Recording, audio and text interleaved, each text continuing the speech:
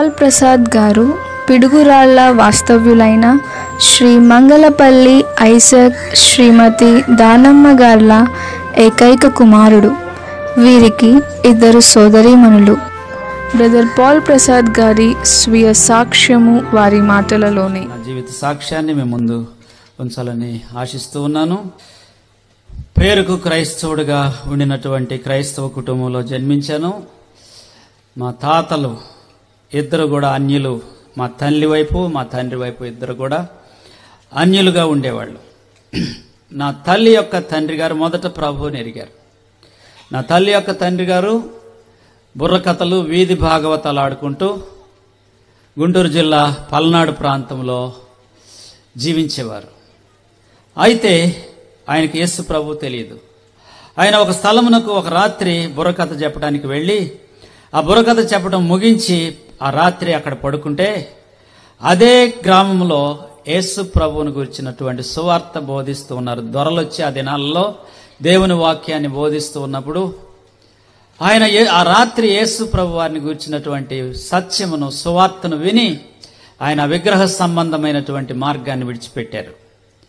ఆ రాత్రే యేసు ప్రభువును రక్షకుడుగా అంగీకరించాడు. ఆ తర్వాత అనేక మంది క్రైస్తవ సంఘాలకు పాస్టర్స్ దగ్గరికి వెళ్ళి యేసు ప్రభువుని గురించి నేర్చుకుని ఆ తర్వాత ఆయన ఉండే గ్రామంలో సువార్త సేవ చేయటం ప్రారంభించారు. అలాగా ఆయన సువార్త సేవ బోధిస్తూ ఉన్నటువంటి దినాల్లో నేను యేసు ప్రభువుని గురించి నా బాల్యకాలంలో విని భక్తుల యొక్క జీవితాలను బోధిస్తున్నప్పుడు దానియేలు దావీదు అదేవిధంగా మోషే యేసుక్రీస్తు ప్రభు వీరి జీవితాలను గురించి బోధిస్తున్నప్పుడు యేసు ప్రభు శిలువ మరణమును గురించి నేను విన్నప్పుడు యేసు ప్రభువుని గురించి విన్నప్పుడు నేను ఆయనను సొంత రక్షకుడుగా అంగీకరించాను. యేసు ప్రభువును ప్రేమించి ఆయన నా దేవుడిగా అంగీకరించాను. నా బాల్యకాలంలో నేను మా తాతగారి దగ్గర పెరిగాను కనుక యేసు ప్రభువును ప్రేమించాను యేసు ప్రభు పాటలు నేర్చుకున్నాను. అలాగా బాల్యకాలంలో ప్రభువుని రక్షకుడిగా అంగీకరించి భక్తి మార్గాన్ని ఇష్టంగా ఎంచుకున్నాను. అయితే నా ప్రాథమిక విద్య ముగించిన తరువాత నా తల్లిదండ్రుల దగ్గరకు ఉన్నత విద్య కొరకు నా తల్లిదండ్రుల దగ్గరకు నేను పంపబడ్డాను. నా తల్లిదండ్రులు భక్తి కలిగినటువంటి వారు కారు. ఆదివారం ప్రార్థనకు కూడా వెళ్ళేవారు కాదు. కాకపోతే ఏంటంటే విగ్రహారాధనను విడిచిపెట్టారు. ఎందుకు? మా తండ్రి గారు మా మా అమ్మను చేసుకున్నందువలన మా అమ్మగారు మా తాత మా అమ్మగారు తండ్రి తాతగారు యేసు ప్రభుని వెంబడించేవారు కనుక నా తల్లిని చేసుకున్న దాన్ని బట్టి నా తండ్రి నా తండ్రి ఇంటి వారు కూడా నామకార్థ క్రైస్తవులుగా మారారు. అంతకుముందు వారు గ్రామ దేవతలకు బలులు అర్పించే వృత్తిని చేసుకుంటూ అన్యులుగా జీవించేవారు. మా తల్లిని ప్రేమి చేసుకున్న తరువాత యేసు ప్రభువుని ప్రేమించి వారు కూడా యేసు ప్రభు మార్గంలోనికి వచ్చారు. కానీ కనీసం నా తల్లిదండ్రులకు కూడా ఆదివారం చర్చికి వెళ్ళటం కానీ వాక్యం చదవటం కానీ ఏమీ తెలిసేది కాదు. ఎప్పుడు ఉండేది కాదు. నేను మాత్రం ఆ బాల్యకాలంలోనే ఆదివారం రా వచ్చిందంటే అలాగ వెళ్ళి చర్చిలు వెతుక్కుంటూ వెళ్ళి ఒక్కొక్క వారం ఒక్కొక్క చర్చిలో కూర్చొని దేవుని వాక్యం విని ఆరాధనలో గడిపి వెళ్ళిపోతూ ఉండేవాడిని.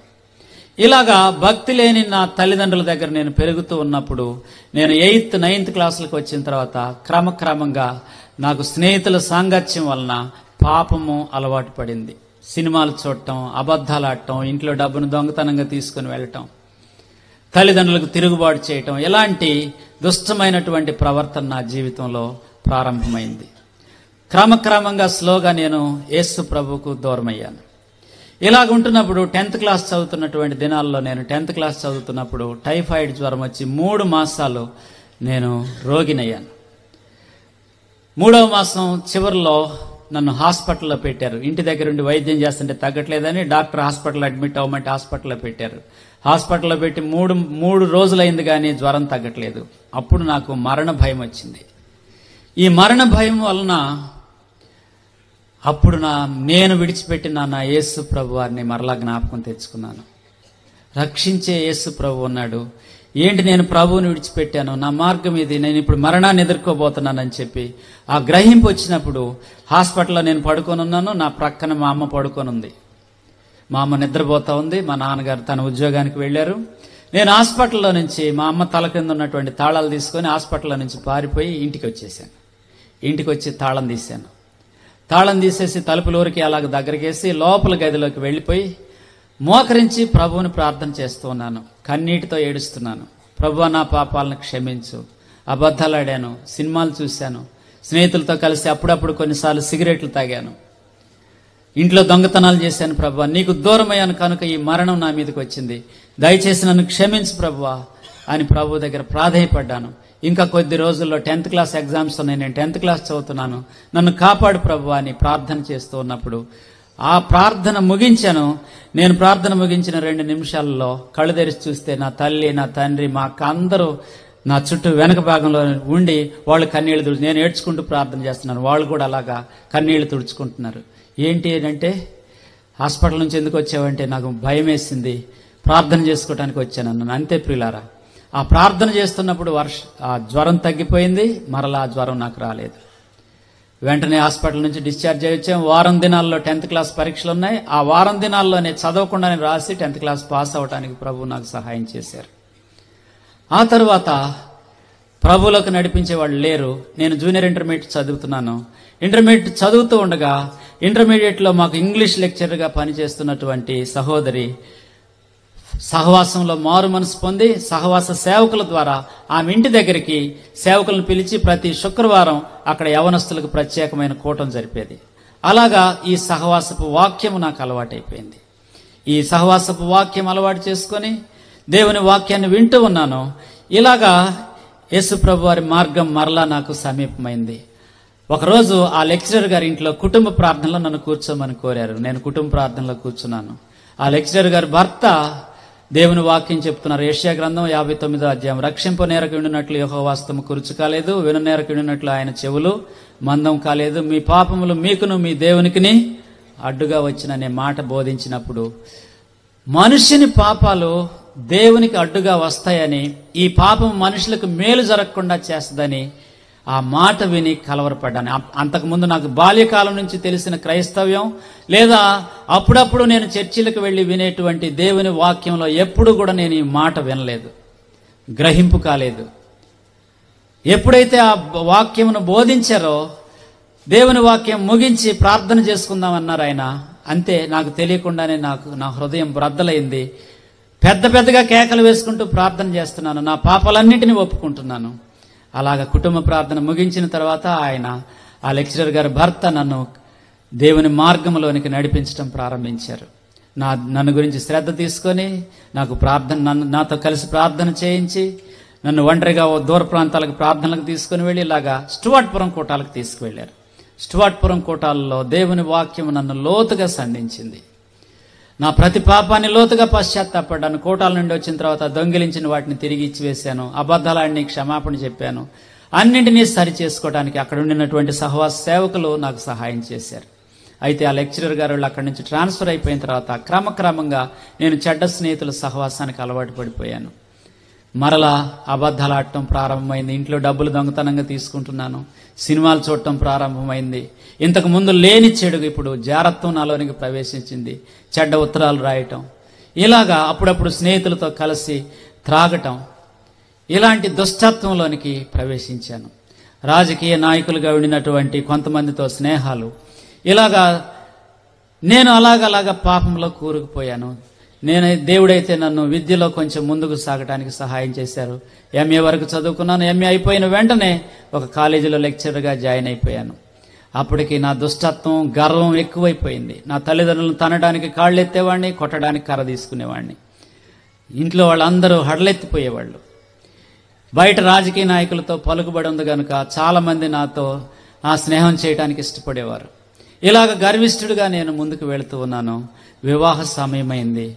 వివాహ సమయానికి వచ్చినప్పుడు దేవుని ఆత్మ నన్ను ప్రేరేపించడం ప్రారంభమైంది. ఇంతకాలం నీవు ఇలాంటి బ్రతుకు బ్రతికావు. ఒకప్పుడు నీవు దేవుని మార్గంలో ఉన్నావు. నీ పాపాలన్నీ ఎక్కడికి వెళ్తాయి అనుకుంటున్నావు? జాగ్రత్త. నీ కుటుంబం నీ జీవితం నాశనం అవుతుంది అని దేవుని ఆత్మ నన్ను ప్రేరేపిస్తూ ఉంది. వివాహానికి ముందు పద్దెనిమిది రోజులు ఉపవాసం ఉండి ప్రభు సన్నిధిలో ప్రార్థన చేస్తూ ఉన్నాను. ప్రభు నాకు ఈ జీవితం వద్దు నేను మార్పు చెందాలి నాకు విడుదల రావాలి ఈ పాపాలన్నిటి మీద నాకు విడుదల రావాలి ప్రభువా అని దేవుని సన్నిధిలో లోతుగా మొరపెడతా ఉన్నాను. పద్దెనిమిది రోజులు వివాహం అయింది వివాహం అయిన తర్వాత మొదటి ఆదివారం మరలా ఫెలోషిప్కు సహవాసానికి నేను ప్రార్థనకు వెళ్ళాలని గ్రహించుకొని నా భార్యను తీసుకొని దేవుని మందిరానికి వెళ్ళాను. దేవుని వాక్యం సూటిగా నాతో మాట్లాడుతూ ఉంది. నా పాప స్వభావాన్ని అంతటినీ నా ముందు ఉంచుతూ ఉంది. కన్నీరు కారుస్తున్నాను. ఆ దినం నుంచి ప్రతిరోజు దేవుని వాక్యం చదువుతా ఉన్నాను. వాక్యం నన్ను లోతుగా దర్శిస్తూ ఉంది. సహాయం కొరకు ప్రభువుని వేడుకుంటున్నాను. నాకు చేత కావట్లేదు. ప్రభువుని విడిచిపెట్టలేకపోతున్నాను పాపాన్ని విడిచిపెట్టలేకపోతున్నాను. ఇలాగా వారం దినాలు గడిచింది. వారం దినముల తర్వాత మరలా రెండో ఆదివారం దేవుని సేవకుని దగ్గరికి వెళ్ళి నేను కలిసి ప్రార్థన చేయించుకొని ఇంటికి వచ్చాను. ఆ రాత్రే నాకు మరణకరమైన వ్యాధి నన్ను పట్టుకుంది. విపరీతమైన గుండె నొప్పి ఉండేది. తలపోటు ఉండేది హై బీపీ ఉండేది ఆహారం ఏం తీసుకున్నా వాంతి అయిపోయేది రాత్రి గాని పగలు గాని నిద్ర పట్టేది కాదు. ఇలాంటి మరణంతో గుంటూరులో అప్పట్లో పేరు పొందినటువంటి ప్రముఖమైనటువంటి వైద్యులు నన్ను ఐదుగురు వైద్యులు పరీక్షలు చేశారు. మెదడుకు సంబంధించిన డాక్టరు గుండెకు సంబంధించిన డాక్టరు అన్ని కోణాలలో ఐదుగురు డాక్టర్లు నన్ను పరీక్ష చేశారు కానీ ఎవరేం చేయలేకపోయారు. నేను మరణానికి సమీపమైపోతా ఉన్నాను. నా స్నేహితులు వచ్చి నా పడక మీద కూర్చొని వీడికి ఒక మగపిల్లోడు పుట్టిన తర్వాత చనిపోయినా బాగుండేది. వీడు ఇప్పుడే చనిపోతాడు అనుకుంటున్నారు. మూడు మాసాలే అయింది. నాకు మరణ భయం లోపల ఉంది. నా తల్లిదండ్రులకు ఒక్కడనే కుమారుణ్ణి. ఇద్దరు కుమార్తెలు ఉన్నారు కానీ కుమారుడిని ఒక్కడిని. నా తల్లిదండ్రులు దిక్కులేని వాళ్ళు పోతా దిక్కులేని వాళ్ళు అయిపోతారనే భయము. నా భార్య విధవరాలు అయిపోతుంది వేరొకరు పెళ్ళి చేసుకుంటారనే భయము. ఈ వ్యాధిని గురించినటువంటి భయం తీవ్రమైపోయాయి ప్రియులారా. ఇటువంటి పరిస్థితుల్లో నేను ప్రభు సన్నిధికి వెళ్ళి మోకరించి ప్రార్థన చేస్తూ ఉన్నాను. ప్రార్థన చేస్తూ ఉండగా ప్రభు తన వాక్యంతో నాతో మాట్లాడాడు. ఒకడు తన ఒకని ఓడిలో నిప్పులుంచుకునే వాడి అగ్నివాణ్ణి వాడిని కాలకుండా నిప్పుల మీద నడిచిన ఎడ్ల వాడిని కాళ్ళు కమలకుండా అని ఆ మాటల ద్వారా మాట్లాడినప్పుడు ఆ దేవుని పాపం అనే అగ్ని నాలో ఉంది. ఆ దుష్టత్వం నాలో ఉంది. కనుక ఇది నన్ను కాల్చివేస్తుందని ఆ మరణ భయం ఇంకా ఎక్కువైపోయింది. ఎక్కువైపోయి. అలాగా నేను నా ప్రతి పాపాన్ని దేవుని సన్నిధిలో లోతుగా పశ్చాత్తాపడుతూ ఉన్నాను. సహవాస కోటాలకు వెళుతూ ఉన్నాను. దేవుని సేవకులు వచ్చిన ఈ వ్యాధి గురించి అంతా తెలుసుకొని సహోదరుడు నీకంటే దుష్టుల్ని ప్రభు క్షమించారు. నిన్ను క్షమిస్తారు. నీ హృదయం తెరిచి ఉపవాసం ఉండి ప్రార్థన చేయి. నీ కొరకు మేము ఉపవాసం ఉండి ప్రార్థన చేస్తాం. ప్రభు నీకు సహాయం చేస్తారన్నారు. అలాగ నా ప్రతి పాపాన్ని నా హృదయం తెరిచి ప్రభు సన్నిధిలో పాపాన్ని అంతటినీ ఒప్పుకొని ప్రభు దగ్గర నా మనస్సాక్షిని కడుక్కుంటూ ఉన్నాను. కడుక్కుంటూ ఉండగా అదే సమయంలో సహవాసంలో ముద్రించబడిన జోగర్ రాసినటువంటి పుస్తకం సాధు సుందర్ సింగ్ గారి జీవిత చరిత్ర. ఆ పుస్తకాన్ని నేను చదువుతున్నాను. జాషువా డానియల్ గారు రాశారు. ఆ పుస్తకాన్ని నేను చదువుతూ ఉండగా దేవుని సన్నిధి నాకు సమీపంగా వచ్చింది. చూడండి సాధు సుందర్ సింగ్ గారు ఆయన ఒక రాత్రి నిజదేవుడు ఎవరో కలుసుకోవాలని కనుగొనాలని ఏడుస్తూ ఆయన మోకాళ్ళ మీద ఉండి నిజదేవుళ్ళ కోసం ప్రయత్నం చేసినప్పుడు ఎవరు ప్రత్యక్షం కాలేదు.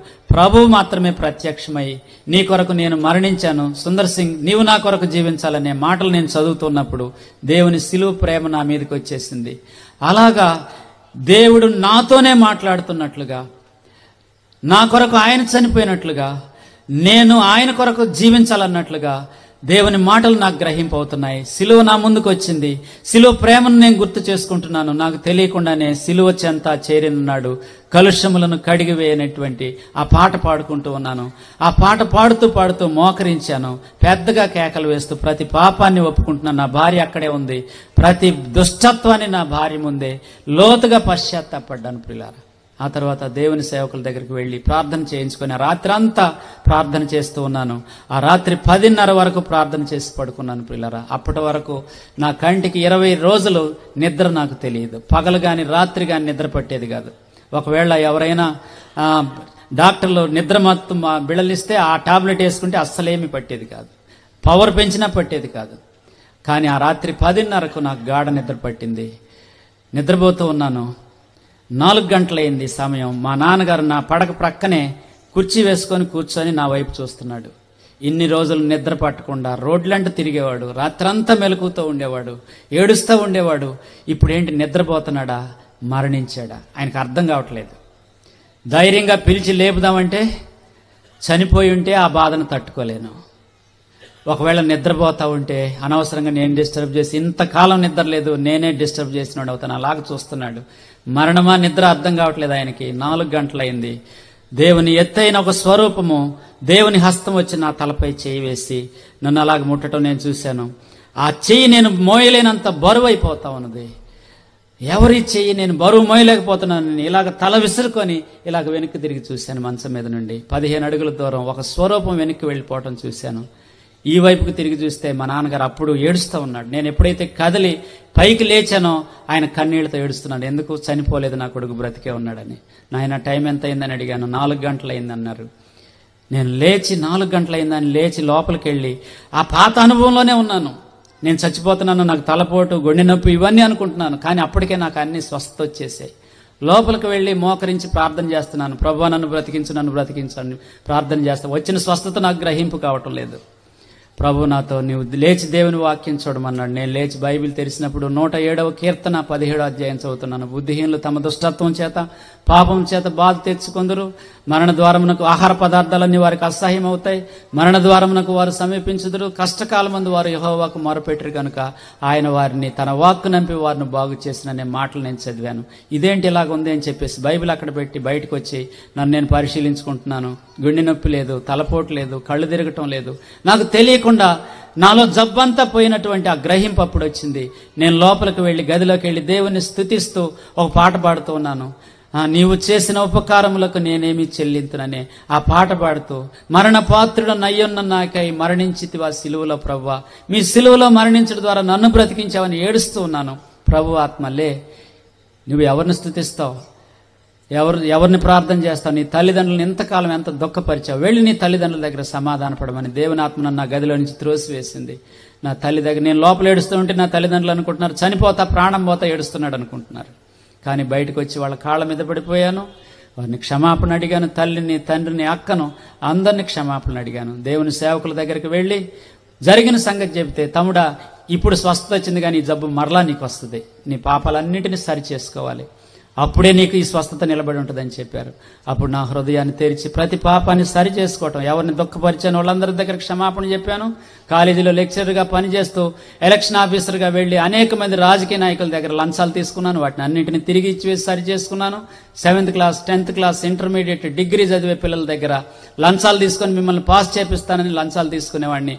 వాటన్నింటినీ తిరిగి ఇచ్చివేయడానికి ప్రభు సహాయం చేశాడు. యూనివర్సిటీలో చదివేటప్పుడు కొన్ని పుస్తకాలను లైబ్రరీలో నుంచి దొంగతనంగా తెచ్చాను. వాటి వాటిని తిరిగి ఇచ్చివేయటానికి సహాయం చేశారు. అదేవిధంగా వివాహ సమయంలో కట్నంగా తీసుకున్న డబ్బును కూడా తిరిగి ఇచ్చివేసి సరి చేసుకోవటానికి ప్రభు నాకు సహాయం చేశారు పిల్లారా.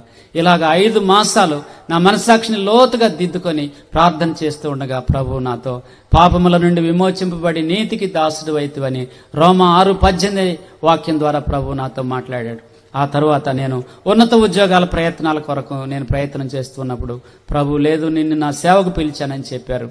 దేవుని సేవకులైన జాషువా డాన్ల గారికి తెలియజేసినప్పుడు ఆయన తరబేతుకు పిలిచి ఆ తర్వాత నన్ను తాడేపల్లిగూడెంలో సహవాసం నాలుగులో బ్రదర్ పాల్ ప్రసాద్ తాడేపల్లిగూడెం సహవాస కేంద్రానికి సేవకునిగా నియమించారు. ఎన్నో ఆత్మీయమైన వర్తమానాలు అందించేవారు. దేవుని ఆత్మకుదల ప్రజలకు ఉండేది. అనేక మంది యవ్వనస్తులు పెద్దలు అనేక మంది ప్రజలు ఆత్మతో పాపపు ఒప్పుదల పొంది పశ్చత్తాప్తులై మారుమనసు పొంది దేవుని ఆత్మను ఆయన యొక్క వెలుగును సంపాదించుకున్నారు. ప్రతి కుటుంబాన్ని ప్రేమతో తమ్ముడా అమ్మ సహోదరుడా అంటూ పలకరిస్తూ క్రీస్తు ప్రేమను కనపరుచుకున్నారు. ఏదైనా కుటుంబం ఆపదలో ఉన్నప్పుడు ఆయన ఏ పరిస్థితుల్లో ఉన్నా పరామర్శించుటకు వచ్చి ప్రార్థన సహాయం అందించేవారు. అంతేకాక వారి కొరకు ఉపవాసం ఉండి జయం వచ్చే వరకు మర్చిపోకుండా కన్నీటితో ప్రార్థించేవారు. ప్రజలు జయమును చూసేవారు. ఎంతోమందికి ఆత్మీయ సలహాలు అందించేవారు. నిరాశతో కృంగిపోయిన హృదయంతో వచ్చిన వారికి బలపరిచే ఆత్మీయమైన మాటలతో లేవనెత్తేవారు. ఏమాత్రం బ్రదర్ పాల్ ప్రసాద్ అవసరతను చూడకుండా ఇతరుల అవసరతను తీర్చేవారు. ఆత్మతో బోధించేవారు. ఆత్మతో పాటలు కూడా పాడేవారు. ఎహోవా నా కాపరి మా సర్వానిధి నీవేనయ్యా. ఉన్నత దేవుడు నీతో నుండగా ఇలా మొదలగునవి పాటలు ఎంతో ఆత్మీయతతో అర్థవంతంగా పాడే కొరకు చెప్తున్నాను ప్రిలా ఒక దినము దేవుని సేవకులు నన్ను ఒక ఫలానా స్థలానికి వెళ్ళి రేపు ఆదివారం నీవు దేవుని సన్నిధిలో దేవుని వాక్యం బోధించి రావాలి అని చెప్పారు. క్రొత్త దినాలు దేవుని వాక్యం చెప్పడం సరే నాకు పాత ఇప్పటికీ ఇప్పటికీ దేవుని వాక్యము కొరకు వేదిక దగ్గరికి రావాలంటే ఆ దినమున నేను ఇప్పుడు చెప్పబోయే దినమున ఎలాగ వణుకుతో భయముతో కంగారుతో ఉంటానో ఈరోజు వాక్యానికి వచ్చేటప్పుడు కూడా నేను అలాగే వచ్చాను ఏం బోధించాలో తెలియదు ఏం మాట్లాడతానో తెలియదు సరే అప్పుడు ఆరంభంలో ప్రభు నాకు శక్తి చాలదు. ఏం బోధించాలో నాకు తెలియదు ఏం బోధించాలో నాకు తెలియదు అని ప్రార్థన చేస్తూ ఉన్నాను పిల్లలు ఆ రాత్రి నాకు వేకుజాము నాలుగు గంటలైంది. వర్తమానం కోసం పోరాడుతూ ఉంటే వేకుజామున నాలుగు గంటలైంది ప్రియులారా ఏం వర్తమానం చెప్పాలో తెలియట్లేదు. కానీ అలాగ ప్రార్థన చేస్తూ ఉండగా నాకు పాట ఒకటి గుర్తొచ్చింది. ప్రభువా దావీదు పాడుకున్నాడు కదా యోహోవా నా బలమా? యథార్థమైనది? నీ మార్గం అని. మీరే నాకు బలంగా ఉండకపోతే నేను తెల్లవారి సేవ నేను చేయలేనని ప్రభువా అని విజ్ఞాపన మొరతో ఆ పాట పాడుకుంటున్నాను ప్రియులారా. యోహోవా బలమా? యదార్థమైనది నీ మార్గం పరిపూర్ణమైనది నీ మార్గం. యోహోవా నా శత్రువులు నన్ను చుట్టినను నరకపు పాశములరి కాటినను నా శత్రువులు నన్ను చుట్టి నన్ను పాశములరి కాటినను వరదవలే భక్తిహీనులు పోలిన వరదవలే భక్తిహీనులు పోలిన విడువక నన్ను ఎడబాయని కనలు ఎడబాయని దేవా యోహోవా నా బలమా యథార్థమైనది నీ మార్గం పరిపూర్ణమైనది నీ మార్గం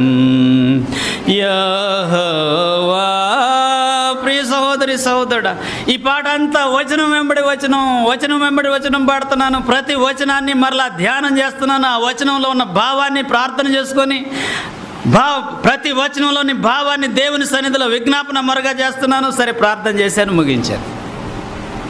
దేవుడు ఏదో ఒక చిన్న తలంపు ఇస్తే ఆ దేవుని తలంపుతో దేవుని సన్నిధికి తెల్లవారి దేవుని సేవకుని దగ్గరికి వెళ్ళాను. ఏం అలవాటు నాకు? ప్రతి కూటమునకు వెళ్ళేటప్పుడు ఎలాంటి పరిస్థితుల్లో ఉన్నా ఎలాంటి అర్జెన్సీ ఉన్నా ముందు దేవుని సేవకుని దగ్గరికి వెళ్ళి దేవుని సేవకునితో ప్రార్థన చేయించుకొని అప్పుడే సేవకు వెళ్ళటం అలవాటు. దేవుని సేవకుని దగ్గరికి వెళ్ళాను తెల్లవారి ప్రొద్దున్నే. దేవుని సేవకునితో ప్రార్థన చేయించుకున్నాను ఆరు గంటలకి. ఎందుకు? దూర ప్రాంతం అది. అలాగ వెళ్ళి అక్కడికి వెళ్ళి దేవుని వాక్యం చెప్పి రావాలి. అక్కడికి వెళ్ళి దేవుని వాక్యం చెప్పడానికి సేవ చేయడానికి వెళ్ళాను పిల్లలు. నేనే పాటలు పాడుకోవాలి నేనే వర్తమానం ఇవ్వాలి. అలాగా ఆ పాట ప్రారంభించి పాడుతూ ఉన్నాను ప్రియులార. ఇదే పాట మరలా పాటల్లో పాడుతున్నారు. ఒక యవన ప్రభుత్వ ఉద్యోగి టీచర్గా పనిచేసేటువంటి ఒక ఉద్యోగి దేవుని సన్నిధికి అలాగా వచ్చేస్తున్నాడంట పిల్ల నేను ఆ పాట పాడితే అలాగ చూశాను. చాలా దర్జాగా ఉన్నాడు. మంచి కలర్ షర్ట్ వేసుకున్నాడు ఇన్షర్ట్ చేస్తున్నాడు. అలాగ లోపలికి ప్రవేశిస్తున్నాడు. ఆ పాట పాడుతూ ఉంటే వచ్చి అలా కూర్చున్నాడంట పాట పాడుతూ ఉంటే ఏం జరుగుతుంది? కళ్ళంట నీళ్ళు అలాగ కారిపోతున్నాయంటండి. ఎవరో తెలుసు ఇతను? ఒక కమ్యూనిస్ట్ నాయకుని కుమారుడు. ఒక కమ్యూనిస్ట్ నాయకుని కుమారుడు హిందూ కుటుంబంలో నుంచి వచ్చాడు. తండ్రి ఏమో దేవుళ్ళుడు అంటాడు తల్లేమో భయంకరమైన విగ్రహారాధన చేస్తుంది. దేవుని సన్నిధికి వచ్చి పాట వింటుంటే అలాగ కళ్ళంట నీళ్ళు కారిపోతున్నాయంట. అలాగ కన్నీరు కారిపోతా ఉన్నాయంట ప్రియులార. అసలు సంగతి ఏంటో తెలుసా? ఒక స్నేహితురాలు. చర్చికి రా నాతో అని దేవుని మందిరానికి పిలిస్తే ఆహ్వానించితే అయోగ్యమైన తలంపులతో అక్రమమైనటువంటి పాప స్వభావంతో మందిరంలోనికి వచ్చాడు. కానీ దేవుని వాక్యం దేవుని దేవుని నామములో గాన ప్రతిగానాలు చేస్తుంటే ఆయన హృదయంలో నుంచి కానీ ఎందుకు వస్తుంది ఆయనకే తెలియదు ఎందుకు వస్తుందో ఆయనకే తెలియదు ప్రియ సహోదరి సహోదరుడు. అలాగ కన్నీరు గారుస్తున్నాడు. తర్వాత స్వార్థం ఏంటంటే ఆయన పాప స్వభావము దేవుడు ఆయన్ని నిన్ను విడుదలలోనికి తీసుకొని రావటానికి జలరాశుల నుండి బలమైన చేతితో వెలుపల చేర్చిన బలమైన దేవుడనే ఆ చరణం పాడుతుంటేనంట. నువ్వు భయంకరమైనటువంటి జలరాశుల్లో మునిగిపోతున్నావు. నిన్ను బయటికి తీసుకొని రావడానికి నేను ఇక్కడికి తెచ్చాను అంటున్నాడంట. ప్రభు మాట్లాడుతున్నాడు. అవును ప్రియ సహోదరి సహోదరుడు నీ భక్తి నిన్ను దేవుని రాజ్యానికి దేవుని ఆత్మలను సంపాదించడానికి ప్రభువుకు అనుకూలంగా మారుస్తుంది. పెద్ద బోధకులం కావాల్సిన అవసరం లేదండి. ప్రభువు మీద ఆధారపడే జీవితం. ప్రభువుని వేడుకునేటువంటి ప్రార్థనాత్మ. నేనేమి చేయగలను ప్రభు అని ప్రభు వైపు చూచేటువంటి కన్నులు నీకుంటే నీ భక్తి కనుక ఇలాంటి స్థితిని నీకు నేర్పిస్తే ప్రభువుకి ఎంత అనుకూలమైన వ్యక్తివిగా మారుతావో తెలుసా? లోకములో ప్రజలు వెలుగును చూడగలిగారు. దేవుడు ఆయనకు చేసిన వాగ్దానములను ఎన్నడూ మర్చేవారు కాదు. ఏ స్థలంలో ఎక్కడ ఉండి ప్రార్థించినా కూడా ఈ యొక్క వాక్యముతో ఈ ప్రార్థించేవారు ప్రభు ఆ ప్రాకారములు పడగొట్టువాడు మీకు ముందుగా వెళతాడు. మీరు గుమ్మం పడగొట్టి దాని గుండా దాటి వెళతారు. మీ రాజు మీకు ముందుగా నడచును. మీ దేవుడైన యహోవా మీకు నాయకుడుగా ఉంటాడని చెప్పింది దేవా ఆది నుండి అంతము వరకు మధ్యస్థం కూడా మీరే మాకు నాయకులుగా ఉండి సమస్త ఘనత మహిమ ప్రభావాలు బ్రదర్ పాల్ ప్రసాద్ నేర్చుకున్న అనేకమైన ఆత్మీయ పాఠాలను నేర్పిస్తూ గద్దిస్తూ సేవలో ముందుకు నడిపించేవారు. అనేకమైన ప్రాంతాలలో ఆంధ్ర తెలంగాణ ఉజ్జీవ కూటముల నిమిత్తమై వాక్యం అందించుటకు వెళ్ళేవారు.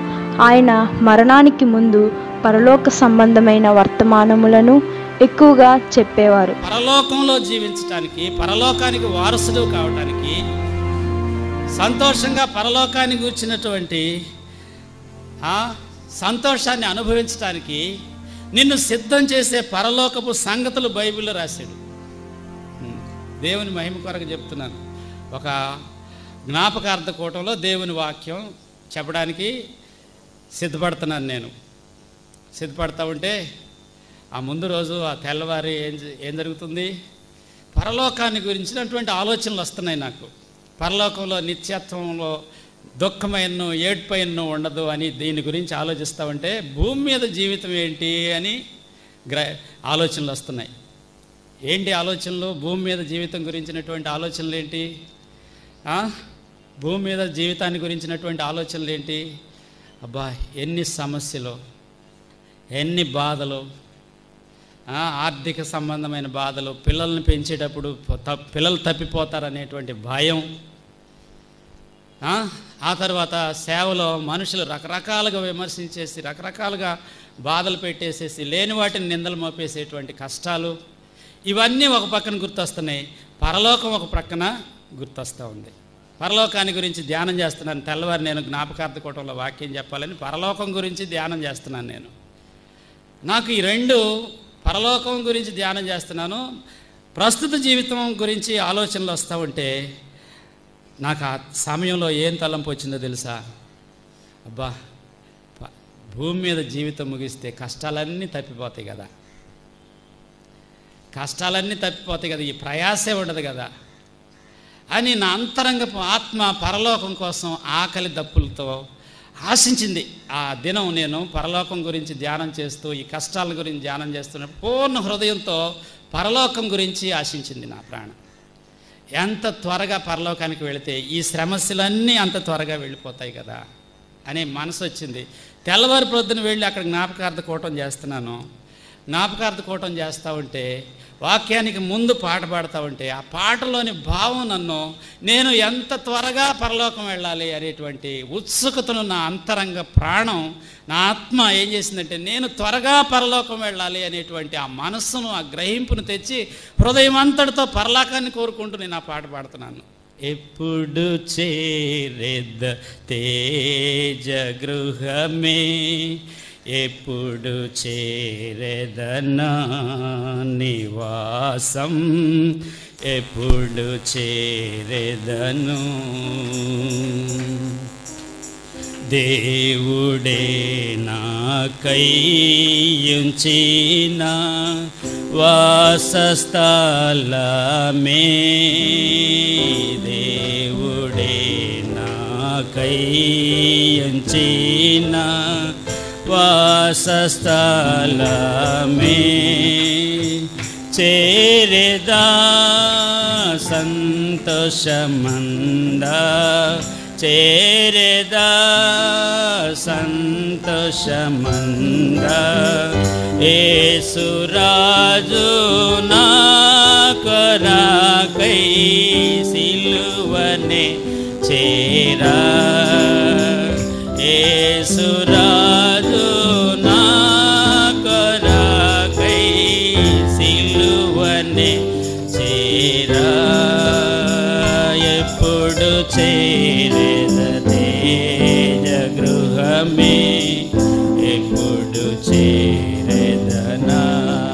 సహోదరి సహోదరుడు ఎంతమందికి పరలోకాన్ని గురించినటువంటి సంతోష ఆనందాలు ఉన్నాయి ఈ క్షణాన్ని పరలోకం వెళ్ళటానికి ఎంతమందికి ఇష్టం? ఎంతమంది ప్రభు నన్ను పరలోకానికి చేర్చండి అని ప్రార్థన చేసుకుంటారు? ప్రతిరోజు ప్రార్థనలో పరలోకానికి నన్ను చేర్చండి ప్రభు నాకు పరలోకం ఇవ్వండి ప్రభు అని ప్రార్థన ఎవరైనా చేస్తారు? ఆ ప్రార్థన చేయడానికి భయం. ఎందుకు? చచ్చిపోతామేమో. పరలోకం కోసం ప్రార్థన చేయాలంటే మనకేంటి భయం? చచ్చిపోతామేమో అని భయం ప్రాణ భయం. అందుకే ప్రభు ఎందుకు భయం? ఎవరికి వస్తుంది భయం? పరలోకానికి వెళ్ళే నిశ్చిత లేని వారికి ఏమొస్తుంది?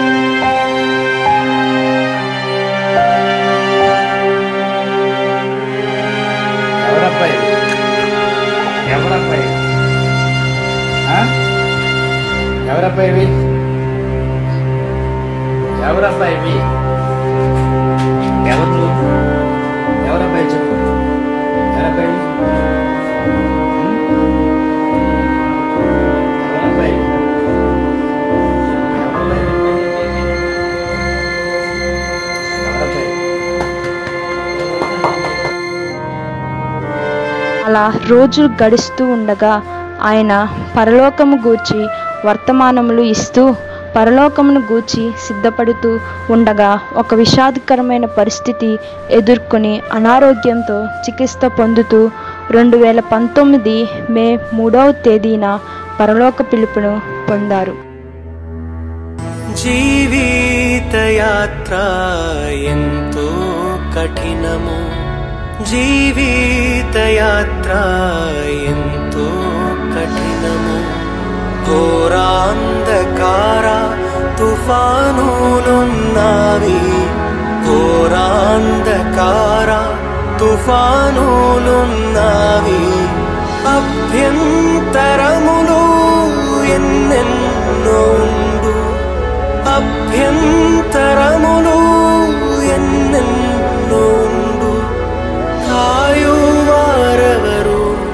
రక్షించేదెవరు? కాయువారెవరు రక్షించేదెవరు? ఈ లోకయాత్రలోనే సాగుచుండా. ఈ లోకయాత్రలోనే సాగుచుండా. తోడై ఉండెదవు అంతము వరకు. తోడై